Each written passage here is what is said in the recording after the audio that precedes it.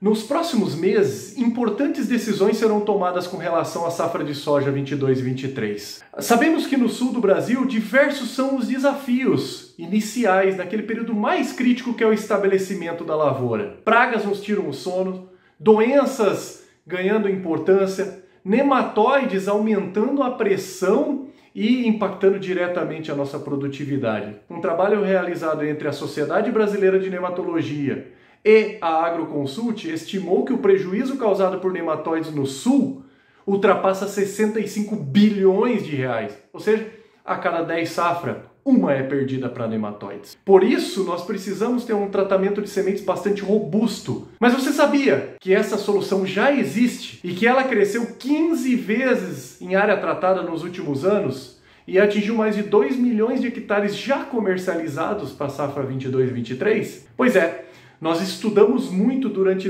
anos essas necessidades e os desafios do agricultor do Sul e desenvolvemos a Victa Completa. A Victa Completa é uma solução 3 em 1. Ela entrega controle de pragas, controle de doenças e controle de nematóides, sendo bastante robusto e dando bastante segurança para o agricultor. E aí eu convido vocês para no próximo episódio acompanhar os benefícios e por que a Victa Completo cresce tanto em área tratada e entrega tantos benefícios para o agricultor. Uso agrícola, venda sob receituário. Consulte um agrônomo. Informe-se sobre e realize o manejo integrado de pragas. Descarte corretamente as embalagens e restos de produtos.